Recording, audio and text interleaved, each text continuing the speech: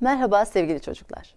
Bugün sosyal bilgiler dersinde sizlerin de çok seveceği bir konuyu öğreneceğiz. Evet, hazırsanız başlayalım. Konumuz geçmişten bugüne çocuk oyunları. Oyun nedir?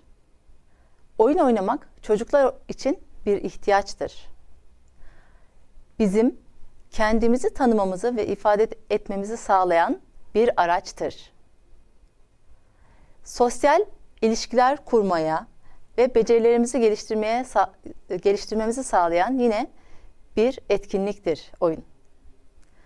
Oyunlarda düşünürüz, heyecanlanırız, seviniriz, üzülürüz, problem çözeriz. Kısacası temel yaşam becerilerimizi geliştiririz. Bazı oyunlar için açık alan gerekirken bazıları için bina içerisinde oynamak yeterlidir. Kapalı alanlarda oynayabiliriz. Tek kişilik çocuk oyunları olduğu gibi onlarca kişiyle oynanan oyunlarımız da vardır. Bakın çeşit çeşit oyunlara sahibiz. Açık alanda oynayabiliyoruz. Kapalı alanda oynayabiliyoruz. Bir kişiyle oynayabiliyoruz çok kişiyle oynayabiliyoruz. Çocuk oyunları genellikle çocukların oynadığı ancak bazen yetişkinlerin de eşlik ettiği veya kendi aralarında oynadığı oyunlardır. Bir de geçmişten günümüze kadar getirdiğimiz geleneksel oyunlarımız vardır. Geleneksel oyunlar bir toplumda üretilen oyunlar o toplumun kültürel değerlerini yansıtır. Hani demiştik ya hayatımızda kültürel değerler vardır. E, kültürel ögelerimizi işlemiştik. Oyunlarla da biz kültürel değerlerimizi taşıyabiliyoruz bir sonraki kuşağa. Kuşaktan kuşağa aktarılan bu oyunlara ise ne diyoruz? Geleneksel oyunlar. Pek çok oyun yüz, yüzyıllar öncesinden günümüze ulaşmıştır.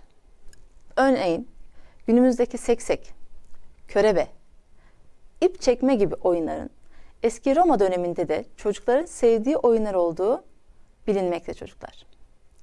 Bazı çocuk oyunları yüzlerce yıldır aynı kalmışken bazıları zaman içerisinde değişmiş, farklı kurallarla yeniden oynanmaya başlanmıştır.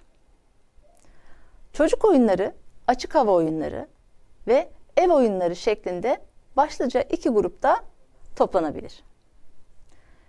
Kağıt, kalemle oynanan oyunlar, sportif oyunlar, müzikal oyunlar gibi pek çok oyun grubuna sahibiz. Çok fazla oyunumuz var. Şöyle bir e, küçük bir video izleyelim çocuklar. Hangi oyunlar varmış? Bunlardan hepsini açıklama şansımız yok. Ama bazılarını birlikte konuşalım, öğrenelim. Música Doop, doop, doop.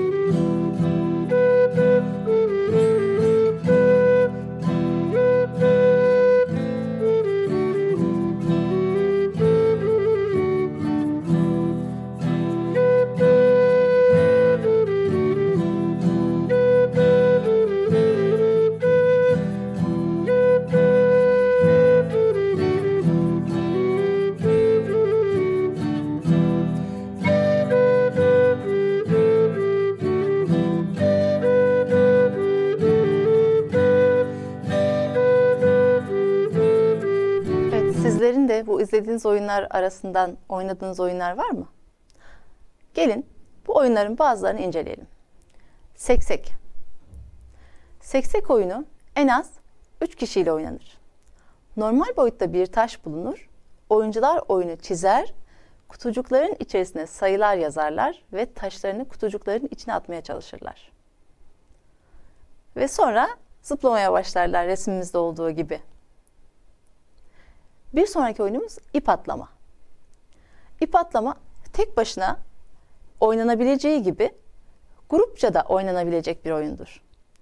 Oyun için gereken tek araç uzunca ve ağır bir iptir. Grupla ip atlama oyunlarında iki kişi karşı karşıya geçerek ipin her bir ucundan tutarlar ve aynı yöne doğru büyükçe bir çember oluşturacak şekilde çevirirler. Diğer çocuklar da sırayla atlamaya başlar. Hula hop. Hula hop genellikle plastikten yapılan ve vücudun çeşitli yerleriyle genellikle bu bel etrafı olmakta çocuklar çevrilen halka şeklinde bir oyuncaktır. Kökeni tam olarak bilinmese bile dünyanın çeşitli bölgelerinde antik çağlardan beri oynanır. Özellikle 1950'lerde ve 1980'lerde moda olmuştur. Gördüğünüz gibi beline takan çocuk vücudunu döndürerek çemberi de döndürmeye çalışmakta. Bir başka oyunumuz birdir bir. Birdir bir oyunculardan bir kısmının eğildiği, diğerlerinin ise eğilenlerin üzerinden atladığı bir oyundur. Siz de arkadaşlarınızla birbirini birdir bir oynuyor musunuz çocuklar? Bakın resimdeki çocuklar bazıları eğiliyor, bazıları da diğerlerinin üzerinden atlıyor. Ee, yine okullarda benim de özellikle öğrencilerime oynattığım ve çok sevilen bir oyun mendil kapmaca. Mendil kapmaca oyununu oynamak için ortada mendili tutacak bir kişi seçilir. Sonra çocuklar aldım, verdim, ben seni yendim oyunuyla iki gruba ayrılırlar. Çizgilerden çıkış yapan çocuklar arasında mendili yakalayan, yakalayamayanı mendille evelemeye çalışır. Evet, ebeleyen oyunu kazanır. Eğer ebeleyemezse e, ebeleyemeyen kaybeder. Burada ebeleme önemlidir. Bir diğer oyun topaç. Geçmişten günümüze gelen oyunlardandır bu da. Topaç oyunu tek başına oynanabileceği gibi birkaç oyuncu arasında yarışma şeklinde de oynanabilir. Oyuncu adedi kadar topaç ile genişçe, sert ve düz bir yüzey gerekir. Ve topaçı döndürmeye başlarsınız. Bir diğer oyunumuz saklambaç. Eğlenceli oyunlardan bir tanesidir. Saklambaç en az 4 kişiyle oynanır. Bir ebe belirlenir. Ebe duvara yaslan, yasladığı ön kolu üzerine yüzünü kapatarak önceden belirlenen bir rakama kadar yüksek sesle sayar. Bu 10 olabilir, 50 olabilir. Duruma göre, saklanacağımız alana göre daha yüksek bir sayı olabilir. Önceden belirleriz. Bu sırada diğer oyuncular da saklanırlar. Ebe saymayı bitirince önüm, arkam, sağım, solum, sobe. Saklanmayan ebe diye bağırır ve diğer oyuncuları bulmaya çalışır. Evet. Amaç burada ebeye yakalanmamak, görünmemek e, ya da ebenin diğer arkadaşlarını bulması. E, ebenin bulduğu kişi ebe olur bir sonraki oyunda. Köşe kapmaca. Köşe kapmaca genellikle sokakta oynanır. Oyun genellikle az sayıda kişiyle oynanır. Ebe alanın ortasında durur ve her oyuncu bir köşeye geçer. Oyuncular ebeye yakalanmadan birbirleriyle köşeleri sürekli değiştirmeye çalışırlar. Oyuncu sayısı kadar köşegen kullanılır bunda. Kare olabilir, beşgen olabilir. Kaç kişiyle oynuyorsak o kadar e, köşe olur. Burada amacımız ebeye yakalanmadan köşeleri değiştirmek. Eğer ebeye yakalanırsak biz ebe oluruz. Diğer oyuncular yine köşe kapmacaya devam ederler. Görüldüğü gibi bakın burada bir yıldız şekli oluşturmuşlar. Oyuncu sayısı kadar köşe meydana gelmiş. Yine eğlenceli oyunlarımızdan bir tanesi. Yağ satarım, bal satarım. Bu oyunda önce bir ebe belirlenir. Oyuncular yüzleri birbirine dönük daire oluşturacak biçimde yere otururlar. Ebe bir mendilin ucunu düğümleyerek eline alır. Ve diğer arkadaşların arkasına koyar. Kişi eğer fark edip de ebeyi kovalarsa, kovalamaya başlar, yakalarsa kendisi e, ebe ebe olmaya devam eder, yakalayamazsa kendisi ebe olur. Körebe. Körebe oyunu en az birkaç oyuncu ile oynanır. Oyuncu sayısı arttıkça oyun zorlaşır ve daha zevkli hale gelir. Önce ebe belirlenir ve ebenin gözleri bir bezle bağlanır.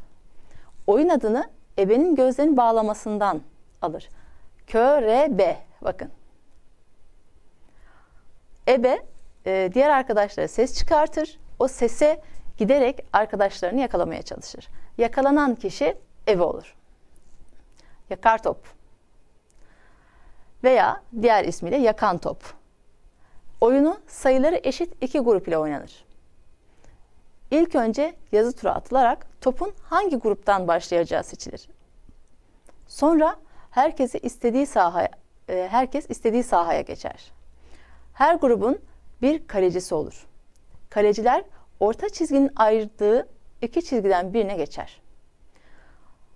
Ama grubunu vurmamak için grubun olmadığı tarafa geçer. Yani diğer burada amaç diğer grubu vurmaktır. İki grupla oynanır.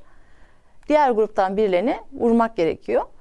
Ee, en fazla vurulan, en fazla ve en çabuk vurulan grup oyunu kaybeder. Yine bir yakar top oyunundan e, örneğimiz var.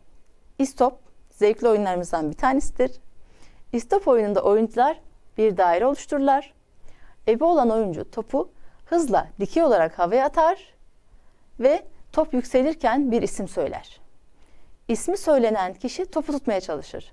Tutamadığı zaman ne yapıyor? Topu yakalıyor ve istop diyor. İstop dediği zaman ebe hemen diğer arkadaşları sabit kalıyorlar. Kaçmayı bırakıyorlar ve ebe onlardan bir tanesini vurmaya çalışıyor. 7 kiremit. Ortaya 7 kiremit konur. İki gruba bölünen çocuklar bunu top atıp isabet ettirerek yıkmaya çalışırlar. Amaç burada kiremitleri yıkmaktır. İlk devrilen, deviren diğer grubu topla vurma hakkını kazanır. Topla en çok kişi vuran grup oyunu kazanır. Evet, kiremitler bu şekilde üst üste dizilmekte ve çocuklar onu vurarak hareket ettirmeye çalışmakta. Bir sonraki oyunumuz bezirgen başı. E, bezirgen başı oyunu bezirgen başı tekerlemesiyle ebe seçilir bu oyunda. Oyuncular seçilen iki ebenin kolları arasından tekerleme eşliğinde geçerler. Başta verilen isimleri bilemeyenler ebenin arkalarına geçerler ve iki farklı takım oluştururlar. Ardından ortaya bir çizgi çizilir ve iki takım çizginin gerisine ip ile kim düşecek çekişmesi yapar. Evet. En son e, araya bir çizgi çekilir ve birbirlerini çekmeye çalışırlar. Şimdi geleneksel oyunlarla günümüz oyunlar arasındaki benzerlik ve farklılıklar neler bir bakalım. Geleneksel oyunlar daha çok fiziksel aktiviteye dayanır. Bedensel gelişimimizi olumlu etkiler. Genellikle dış mekanlarda oynanır ve tanınan arkadaşlarla grupça oynanır. Bir yandan da aslında toplumlaşmayı sağlar değil mi çocuklar? Doğayı ve insanı tanımamızı sağlar. Genellikle tekerleme ile ebe seçilerek oyunlara başlanır. Çoğunlukla doğal malzemeler kullanırız geleneksel oyunlarda. Peki günümüzde oynanan oyunlar nelerdir ve nasıl yapılır aslında? Ee, günümüzde oynanan oyunlar genelde e, artık evlerde olduğu için çocuklar tabletler kullanılarak ya da elektronik aletler kullanılarak tek başına yapılan oyunlar pek sosyalleşmeyi içermiyor. Arkadaşlarda oynamak yerine daha çok oturarak oynanan oyunlardır. Bedensel gelişimlerinizi olumsuz etkiler ve sağlık sorunlarına neden olur. Çoğunlukla iç mekanlarda oynanır. Genellikle tek başına yani bireysel oynanır az önce söylediğimiz gibi. El, göz, zihin koordinasyonu gelişimine katkı sağlar. Hazır oyuncaklar ve elektronik araçlarla oynanan oyunlardır bunlar. Evet, sizler de oyunlar oyun oynamaktan hiç vazgeçmeyin. Bir sonraki haftamızda görüşmek üzere. Sağlık ve sevgiyle kalın.